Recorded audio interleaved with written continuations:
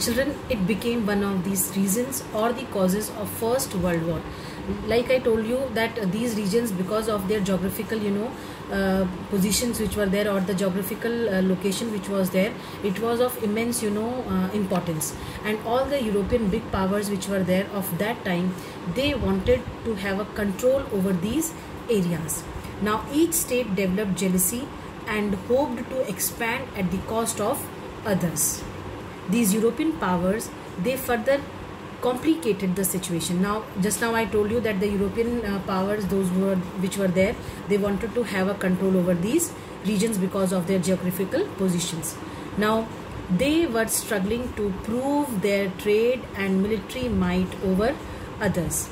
And ultimately the countries like russia germany england austria hungary extended their control over balkan areas which later on became the reason for the First World War.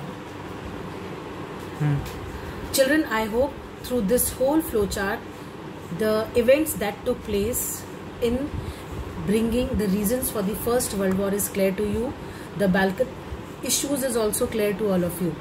Now, because of all these a series of events that took place, Nationalism aligned with imperialism and led Europe to disaster in 1914. And 1914 was the time when the First World War started.